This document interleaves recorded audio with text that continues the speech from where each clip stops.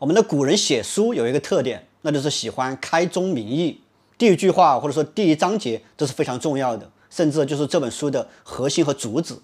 比如《道德经》的第一章就非常的关键，老子说：“道可道，非常道；名可名，非常名。无名，天地之始；有名，万物之母。”这句话基本上奠定了老子这本书的基本论调，说明了万物的起源和万物的本质。这两句话一下子就为道家思想划定了基础和边界。再比如《孙子兵法》的一开篇就说：“兵者，国之大事，生死之地，存亡之道，不可不察也。”第一句话就把这本书的基调定下来了。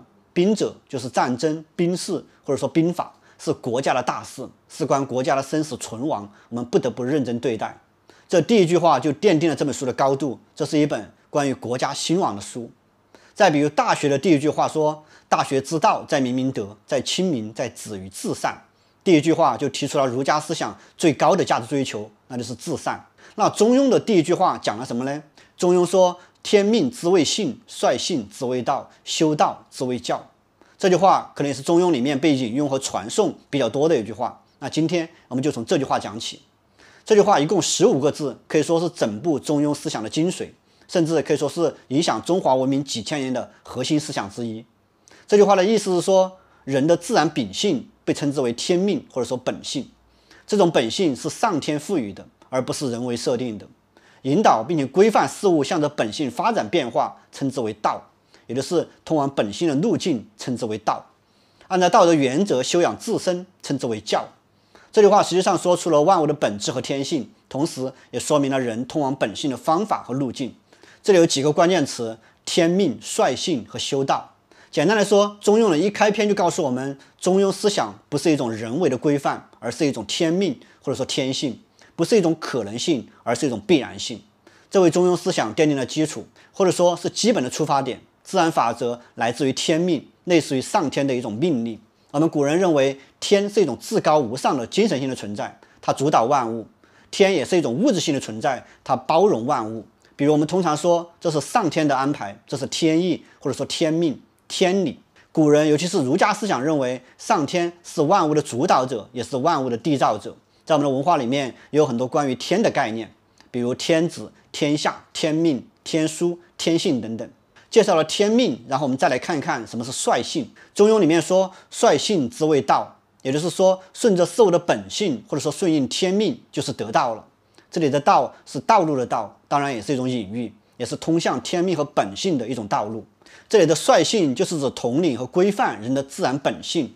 这里的率，其实我们也可以用另外一个非常重要的词来理解，那就是诚。这里我们稍稍展开一下来聊聊这个诚字。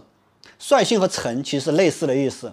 诚这个字在中庸里面是非常重要的，后面我们会讲到。诚字在这本书里面一共出现了二十五次之多。在第二十篇里面说：“诚者，天之道也；诚之者，人之道也。诚者，不勉而忠，不思而得。”从容中道，圣人也。诚之者，择善而固之之者也。意思是说，理解了诚，才能明白了天理或者说天道。按照诚的方式为人，就是一种人道。真诚既是天道的原则，又是人道的原则。但这里的诚，并不仅仅是一种道德品质，更重要的是一种精神境界。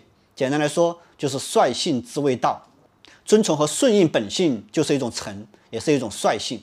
我们经常说一个人非常的真诚、坦诚、率真，没有过多的人为的修饰，大概也表达了类似的意思。那最后五个字“修道之谓教”，也就是按照道德原则来修养自身，就是教。这里的教，我们也可以理解为行为和实践。简单来说，就是按照道德原则来为人处事、行为实践，这就是修道之谓教。后面我们也会讲到关于诚，就是修身的根本。儒家思想特别推崇诚。它既是一种至高的道德品质，更重要的是，它是一种对天性、对天道一种领悟和实践的原则。通过诚，我们才能够领悟天道；实践诚，就是顺应天命或者天道。中庸里面说：“自诚明，谓之信；自明诚，谓之教。”也表达了类似的思想。好了，今天我们简单介绍了中庸的第一句话：“天命之谓性，率性之谓道，修道之谓教。”我们来简单总结一下，就是上天赋予了万物本性，通向这种本性的原则或者道路，称之为道；按照道的方式来行为实践，称之为教。天命、本性、修道和教化，这是一套适用于人和所有自然万物的法则。好了，今天的内容就是这些。那后面我将继续分享中庸的更多精彩思想。如果喜欢我的视频，请关注小博读书。我们下一期视频见。